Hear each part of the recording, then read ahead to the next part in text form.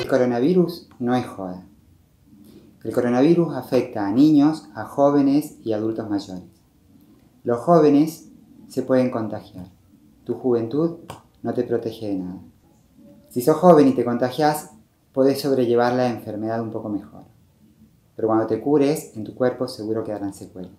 El adulto mayor, la enfermedad le afecta peor y lo complica más. También puede llegar hasta la muerte.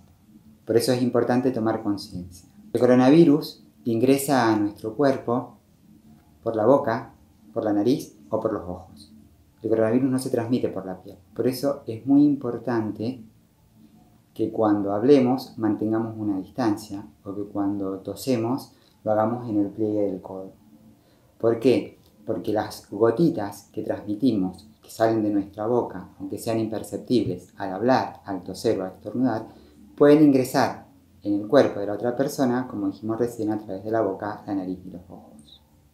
Es muy importante entender que no se transmite por la piel.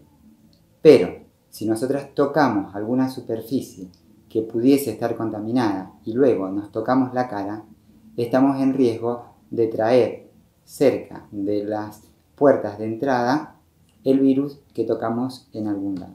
Por eso, uno de los consejos importantes es no tocarnos la cara. Y cuando hablemos con otra persona, mantener una distancia de un metro y medio y cuando tosemos o estornudamos, lo hacemos en el pliegue del codo o en un pañuelo descartable. Este pañuelo descartable posteriormente lo metemos en una bolsa y después lo tiramos. No andemos tirando nuestros pañuelos descartables en la vía pública ni tampoco metiéndolos en bolsos, bolsillos o carteras donde puede infectar también nuestras pertenencias.